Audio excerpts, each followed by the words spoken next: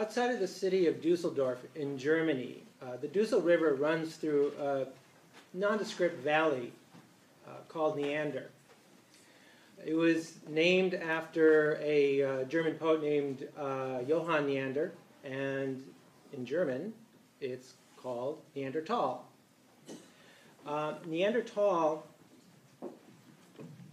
uh, Neanderthal was mostly known in the mid 1800s for its limestone.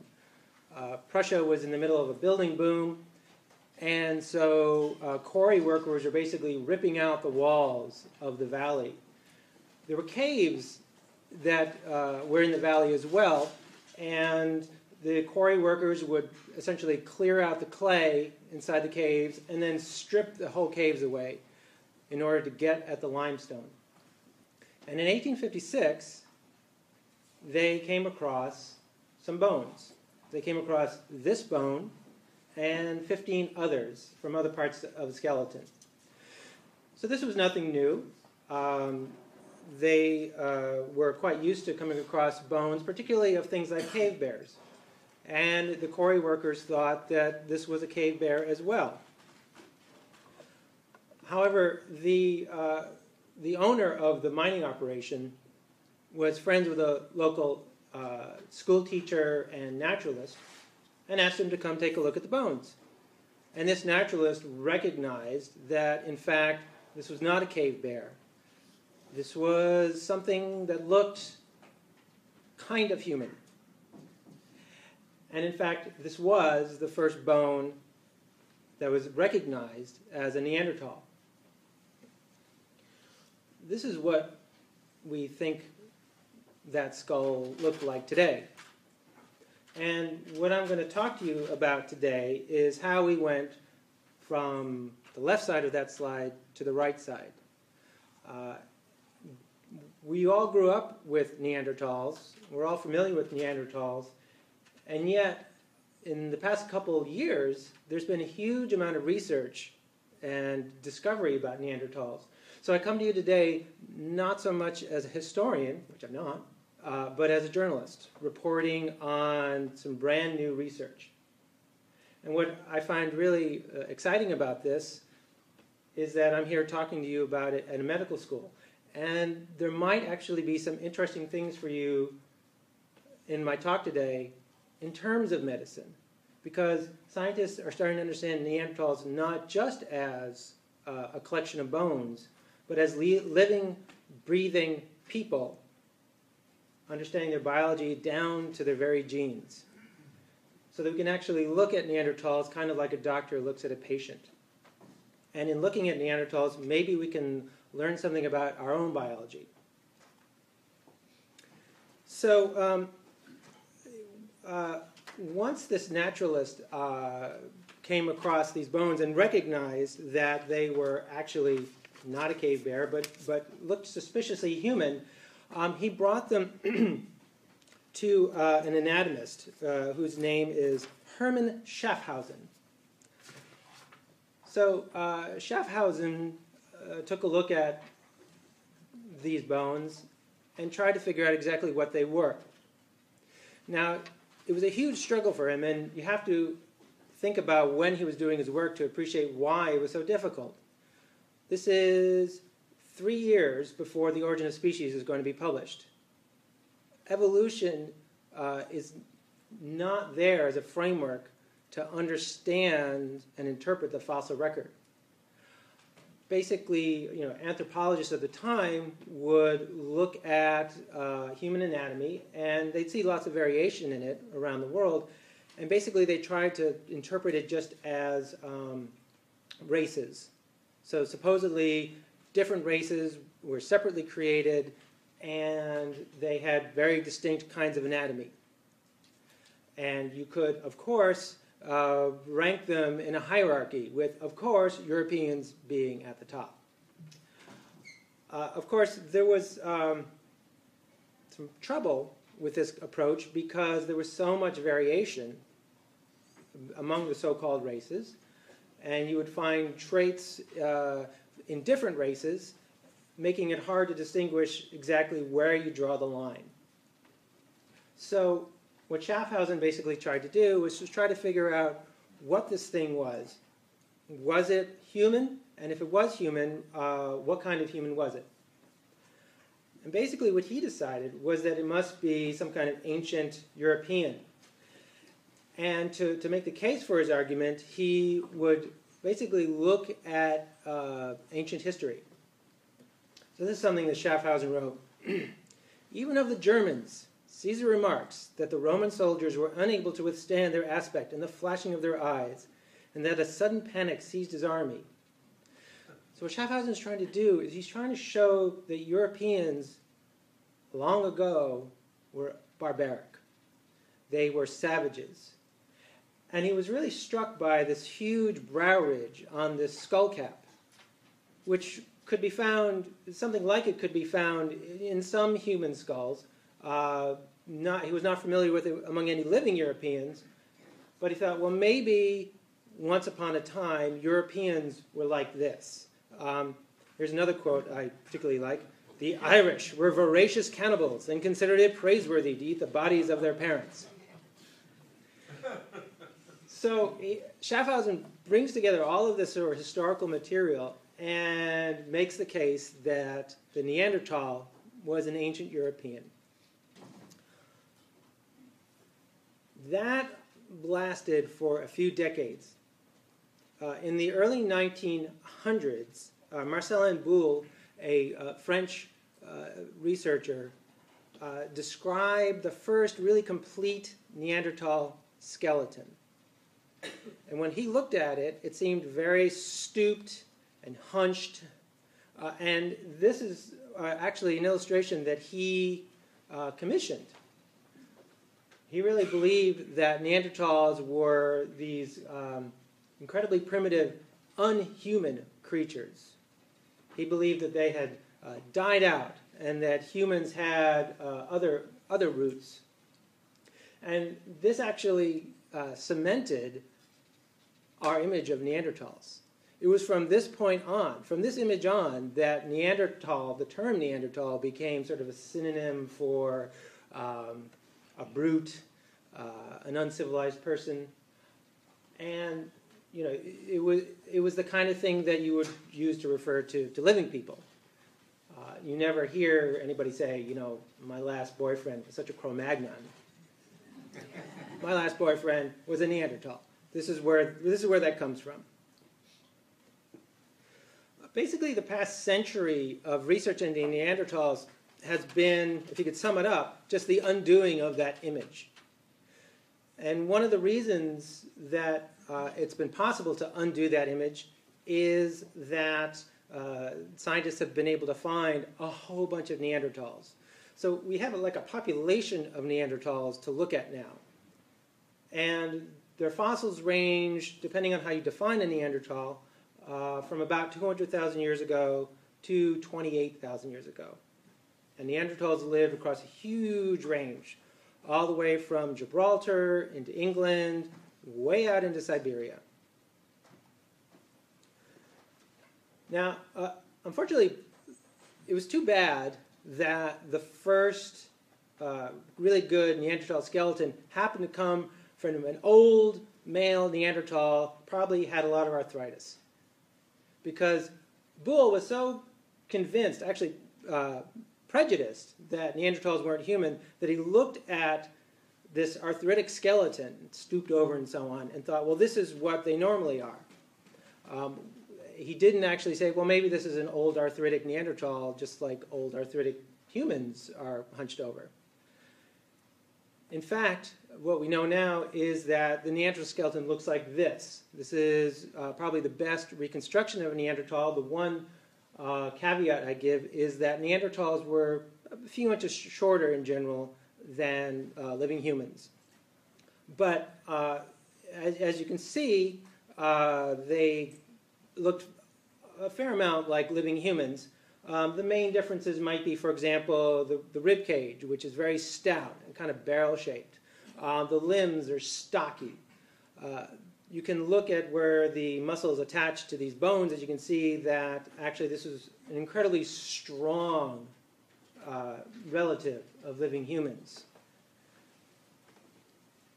Neanderthals actually had very big brains.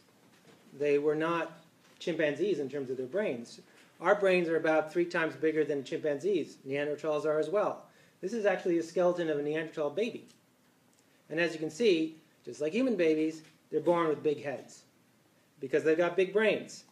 Um, you can actually reconstruct uh, Neanderthal childbirth.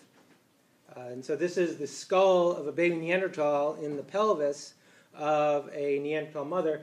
Obviously, this fossil wasn't found like this. This is a virtual reconstruction. But the, the main uh, lesson here is that childbirth was not easy for Neanderthals either, because their babies had big brains. And they were using these brains. They were uh, uh, making lots of stone tools. It is not easy to make these kinds of tools. I would challenge any of you to make these tools. Uh, it is a very difficult thing. It takes paleoanthropologists a long time to master this kind of Neanderthal technology. And it's likely that they used this technology to make spear tips, to uh, butcher animals that they killed, to clean the hides, might use for clothing, uh, all sorts of different purposes.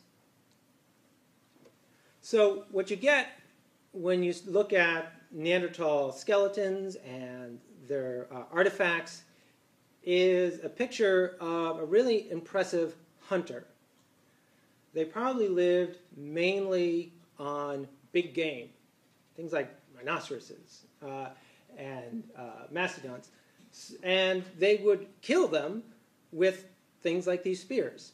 So just imagine um, trying to kill a rhino with a spear. That's all you've got. You don't get some long range uh, rifle. Uh, you, so you can imagine that these are pretty tough, remarkable uh, people. Uh, Neanderthals had uh, a home life. This is a diagram of a Neanderthal uh, habitation, I guess you could call it. Um, it was essentially um, a kind of a shelf with, a, with an overhang of rock in Jordan.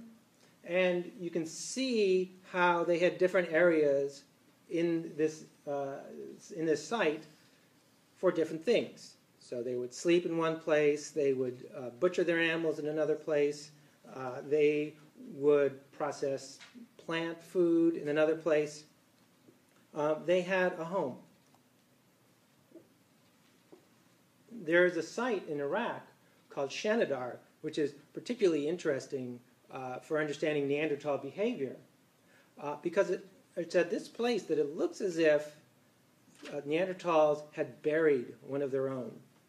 It looks like there's a ceremonial burial site there, and it even has flowers.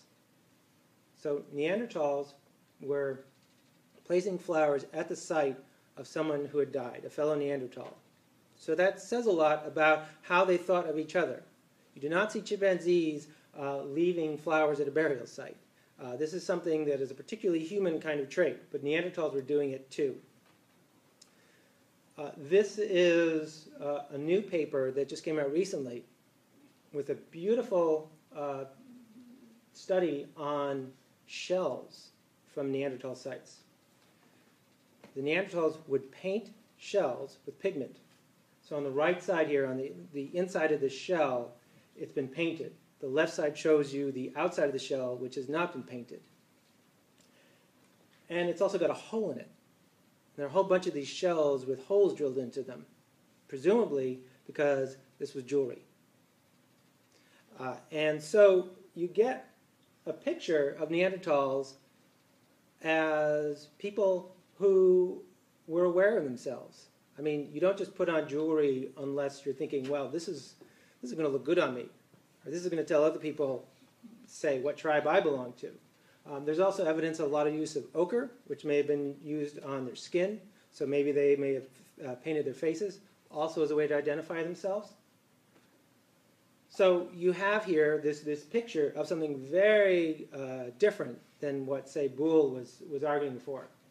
Still, I mean, this is, uh, this is somebody who you would, would stop you dead in your tracks if he was walking down the street today but uh, he's a very uh, interesting person. And so, as Neanderthals have sort of physically uh, sort of come to life before our eyes, uh, this has raised a lot of questions about who the Neanderthals were. Where did they come from, and how are they related to us? Because they're still not quite human. Now, if, if you look in Europe at a, a number of different sites, you can see that for, for many thousands of years, there were humans and there were Neanderthals in Europe. And you can, do a, you can fairly easily tell them apart. So here's a, a chart, a diagram that shows a whole bunch of different uh, traits that scientists use to distinguish humans and Neanderthals from the same time periods in Europe and you have different sites where there are Neanderthals for a while, and then um, humans for a while, and the Neanderthals come back again. Particularly in Israel, you, you see this evidence. Now, what's really interesting is that if you were to try to pick any one of these traits and say, "Well, ah, this is this is this is a key trait that distinguishes humans and Neanderthals," it's actually kind of hard because chances are you can find a, a, a so-called human trait in Neanderthals, and you can find a so-called Neanderthal trait in some human back at this point in history. But the whole suite of characters, if you take them together, does a good job of dividing most of these fossils. Now, these differences are, in the scope of human evolution, pretty small potatoes. So our, uh, our ancestors, ancestors branched off from the ancestors of chimpanzees and other apes maybe seven million years ago or so.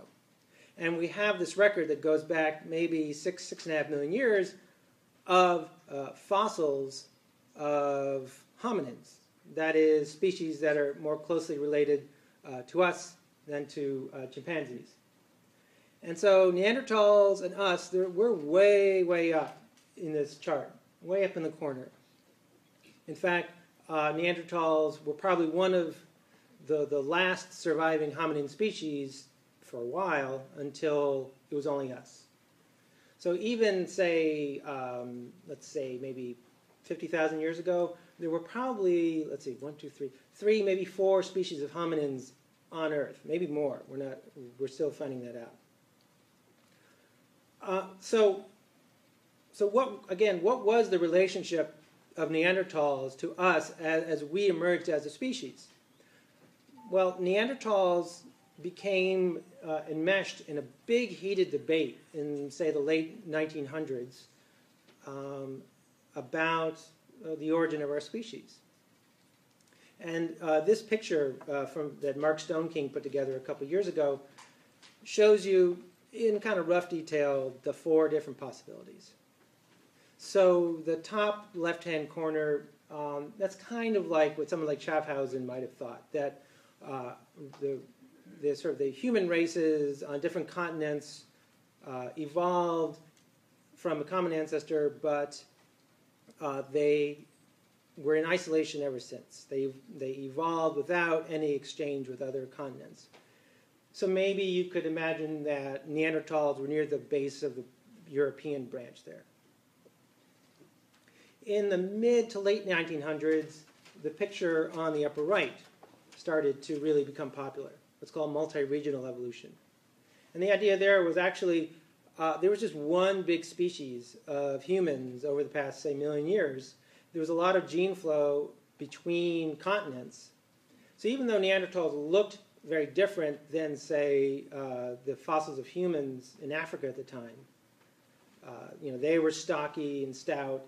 Uh, humans in Africa at the time, say from 150,000 to 50,000 years ago, very slender. Uh, they, they, were just sort of subspecies in the same way you have subspecies on Earth today where they look different in locations, but that's just because they're adapting to their local uh, conditions. Now, in the late 1900s, some people argued for the lower left scenario. That is, that uh, modern humans came out of Africa, say about 50,000, maybe 100,000 years ago. There were other hominids on other continents, and they wiped them out. That all those X's mark all these sort of uh, uh, extinct hominins, uh, and today the whole world is populated by humans that originated in Africa and came out very recently. And I'll get to that fourth one later. So, uh, up until, say, um, 15 years ago, really the only way to, to decide between all these different scenarios was to look at bones, and bones can tell you a lot. But it turns out that bones can tell you something else if you know how to get the DNA out of them. And believe it or not, there is a fair amount of DNA in Neanderthal bones. Uh, more than anybody else, Svante Pabo um, at, the Max Planck, at the Max Planck Institute for Anthropology uh, pioneered a method for getting fragments of, of DNA out of uh, Neanderthal bones. And he started uh, with, well, they started with where Neanderthals started, uh, from the bone that came from, the bones that came from the Neanderthal Valley.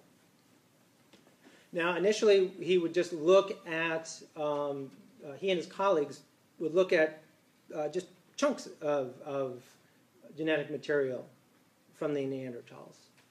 Uh, and he, he and his colleagues, mainly they were interested in comparing uh, those chunks to chunks of, of DNA from living humans to see how similar they were and to basically draw a family tree. Uh, this is a version that came out in 2009. And as you can see, they have taken a whole bunch of DNA from living humans, from Africa, and from elsewhere. And they looked at a number of different Neanderthal fossils from lots of different sites. And you can see that, at least based on this genetic material, that they split. There's a, there's a clear split uh, between Neanderthals and modern humans. So um, if, if Neanderthals were just old Europeans, then you'd expect that all those Neanderthal branches would be nested in that non-African part of the tree. But that's not what they found. What they find, uh, at least looking at this uh, sample of DNA, is a clear split. So, so what this suggests is that perhaps um, the ancestors of Neanderthals and humans lived in Africa. There was an expansion perhaps, let's say, 300, 400, 500,000 years ago, hominins moved into Europe, evolved into Neanderthals. Our ancestors stayed behind in Africa, and then they came out later. Now, um, the, the, early um, signals of this split came out in, uh, in I think their first paper in 1997. Uh, but you know, paleoanthropologists kept saying, you know, we're not sure about this because we keep seeing skeletons that are, that are really hard to classify. There are not a lot of them, but there are some. So here's a 24,000 year old skeleton. It should be after the extinction of Neanderthals. I mean, the, but it looks kind of Neanderthal. It's got certain traits that are very Neanderthal-ish. And yet it's 4,000 years after you know, the main fossil record of Neanderthals peters out. So there are examples like this that just kept puzzling people. And so the, the logical thing for someone like Svante Pabo to do was to get more DNA. So maybe just looking at isolated bits of DNA wasn't enough. Uh, and so incredibly, what he was able to do was to get the whole genome. Uh, and this is really just amazing that he and his colleagues were able to do this. Uh, what they had to do actually was to turn these caves into sort of the equivalent of, of level four biohazard sites because they didn't want to contaminate fossils that they were digging out of the caves with their own DNA and screw up the whole analysis. So that's Svante Pabo on the right, uh, just talking with one of his colleagues in a cave, and on the left is actually someone pulling out uh, Neanderthal bones, putting them in these packages. They immediately get them into, uh, into boxes that they would ship off to Pabo's lab where they would analyze them. Uh, the, the main genome uh, that they studied came from a site in Croatia, and those are some of the bones on the left. But they also did an analysis of some other site of Neanderthals from some other sites just to do some comparison. Now, just being able to sequence the whole Neanderthal genome is an amazing thing. They, they published the whole thing earlier this year. but they went a step further. There's a lot more research to do on the Neanderthal genome, but uh, they already did some really uh, amazing work on this. One of the things that they wanted to know was, genetically speaking, how are Neanderthals like us and different from us? So, what genes do they share with us, and what genes did we evolve after the split with Neanderthals? Now, uh, in some cases, uh, this evolution was basically um, a case where uh, you might have a, different versions of a gene, alleles, in the ancestral population. So a lot of different gene variants are in the, in the ancestral population. And in humans, natural selection favors one of them. So on the right there, you can see that little red star. That's the, the uh, origin of, of, an allele. Uh, and the blue uh, line there is another allele that just basically got shut out thanks to natural selection. Um, on the other hand, uh, they were going to also look for alleles in living humans that also exist in the Neanderthal genome. So on the left, you can see the, how there are blue lines in the Neanderthals and in the living human populations. And then the, the black line is, is another allele. Um, so they were trying to compare these, these patterns, looking for these sorts of patterns, among other things, to figure out uh, how Neanderthals are related to us. So the question is, what genes do we share, and what genes don't we share? So what genes do we share? Well, this uh, was kind of a surprise. Um, one of the first um, examples actually came out of an interest in the evolution of language. So, uh, you know, language is not just sort of a, an invention. I mean, we basically we, we have what Steven Pinker has called a language instinct. Um, you know, humans are adapted for acquiring language in a way that other animals are not. And scientists are starting to identify some of the genes that are essential for uh, our, our use of language. The first one that was identified is called FOXP2. And if that gene is mutated at all, people suffer from serious uh, deficits in language. Um, they either can't talk, or they have trouble understanding grammar, or both. Uh, and when scientists compared human FOXP2 to FOXP2 in other animals, they got a really interesting result. So one way to see how natural selection has been at work is to look at the kinds of mutations that uh, have arisen in different versions of a gene. I won't get into the details here, but basically there are some mutations that show you that uh, natural selection has been at work, and others that are just neutral. They don't really matter. And it turns out, as you can see here, in the human lineage, there's actually been a lot of natural selection on FOXP2. Whereas in other lineages, it's changed very little. So it looks like FOXP2 has been evolving in our lineage. And maybe that means that this was part of the story of how we evolved language. So, the question was, what about Neanderthals? What kind of FOXP2 did they have? And it turns out that they have the same FOXP2 that we have, which is actually kind of interesting when you think about it. Does that mean that Neanderthals had language? I mean, we can't say for sure, but there's certainly some really interesting things to think about. So, for example, when humans show up in Europe about 40,000 years ago, they start making lots of art. They do cave paintings, they make sculptures, and a lot of researchers think that this kind of expression goes hand in hand with language uh, if only to just talk about what it is you just made. Um, Neanderthals show no evidence of this kind of self expression. So, were they able to talk? Or was FOXP2 really just part of a much more complicated story? We don't know the answer, but we do know that Neanderthals had our FOXP2.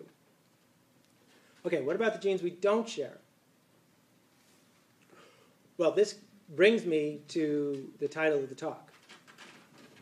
So, in us, are there any redheads here? Okay, So, I, so your hair is different from the hair of most other people here. And the reason is this. Um, we produce pigment in our hair uh, and in our skin uh, with cells called melanocytes. And they make different kinds of pigments, uh, different kinds of um, sort of little packages of pigment called melanosomes. And there are different kinds of melanin, this pigment, that we make. And some of it can make kind of reddish color, some of it can make darker color, brown to black color. This is a process that goes on in all animals. In us, there is a gene uh, called um, uh, MC1R. We'll see in the next slide if I got that right. Um, basically, what, what this gene does is it makes a protein that sticks on the surface of cells that are involved in making pigment. And if, the, if this receptor uh, is really active, it's going to make a lot of dark pigment.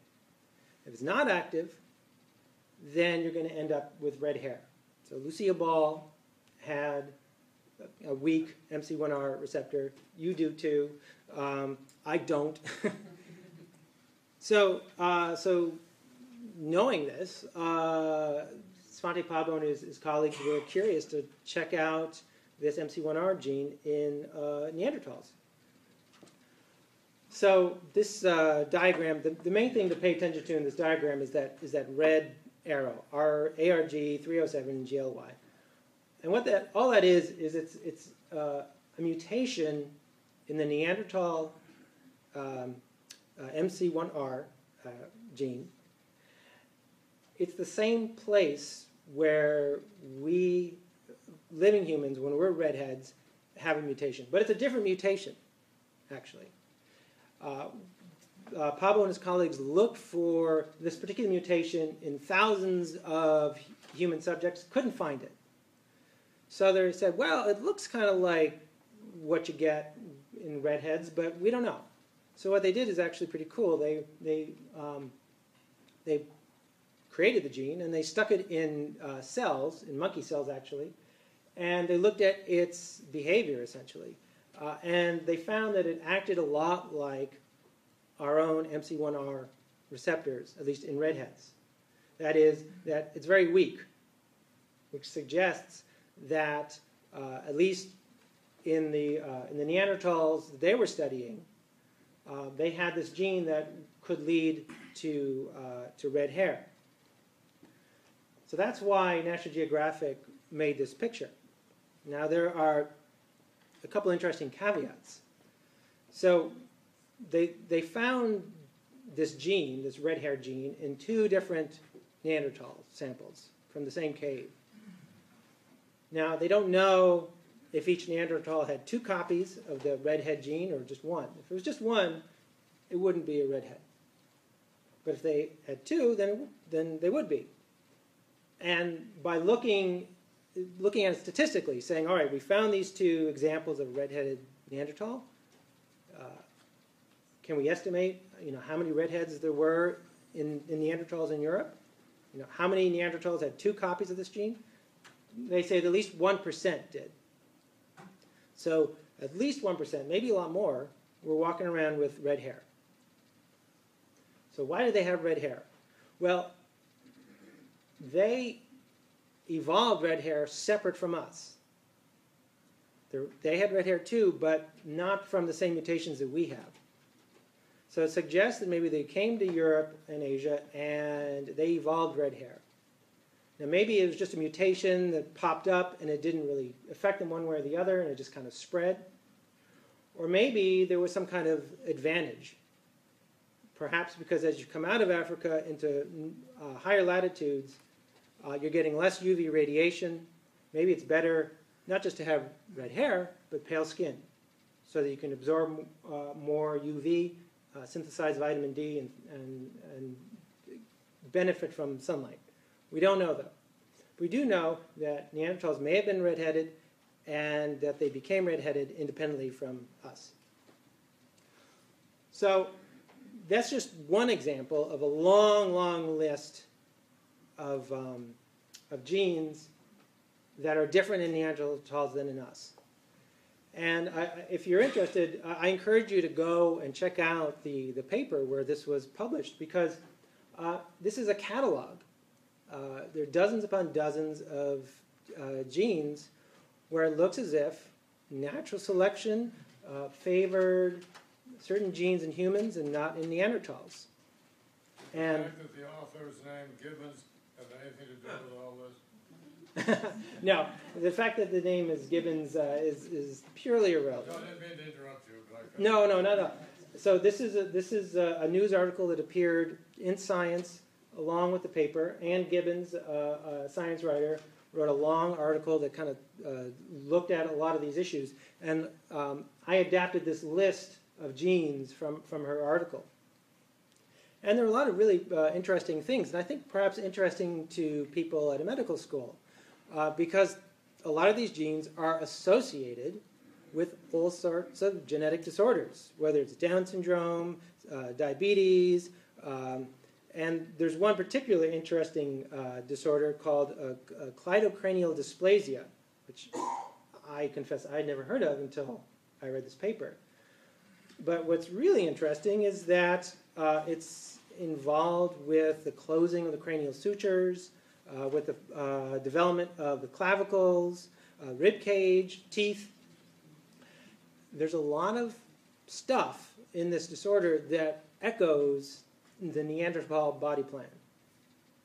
So maybe, maybe, uh, part of the evolution of Homo sapiens was involved in that gene, in going from, from a kind of Neanderthal-like body plan to the more slender, high forehead kind of anatomy that we have.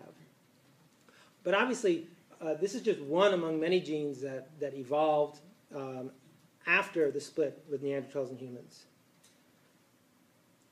Uh, and, you know, in, in the future, what I think is going to happen is that um, scientists are going to be analyzing this catalog, trying to figure out answers to a few key questions. And I think one of the, the biggest questions is going to be why are we here and why are they gone? So Neanderthals went extinct uh, 28,000 years ago, and we didn't. Um, Steven Churchill, um, who is at uh, Duke University, has been arguing for a while that uh, a key development in human evolution was the ability to make much more uh, innovative tools. So Neanderthals were great making tools, but um, they weren't as creative as humans of, say, 40,000, 30,000 years ago. So, for example, um, early humans started to make spear throwers. So, not only could they use a spear, but they could actually uh, fashion a device that they could use to whip that spear and make it go a lot further than just throwing it with your arm. Uh, they also invented bows and arrows, for example. So, whatever uh, mental processes it took to start being more inventive in this way might have led to um, humans being able, for example, to get more food. Um, Churchill actually points something very interesting out in a recent paper. I'll just take you back to Shanidar. So that guy, sort of slumped over in this painting by Karen Carr, um, he was actually in pretty bad shape when he died. And among other things, he had a really bad wound to a rib. And Churchill has analyzed the wound to that rib, and he thinks that it can only have been made with human weapons. So he suggests that maybe there was some warfare between Neanderthals and humans. Now, that doesn't have to be uh, the sole factor in the extinction of Neanderthals. Obviously, Neanderthals and humans shared this planet for thousands of years, so it wasn't like uh, genocide. But maybe that was part of the story. That, that humans, you know, modern humans had this technology. They could use it against Neanderthals. They could use it against animals for food. And that might have been part of the story why we're here and they're not. And so we go back actually to where the story started with the bones. So I think that you know, in the future, scientists are going to be looking at these genes and trying to figure out, well, how do these genes influence the development of brains?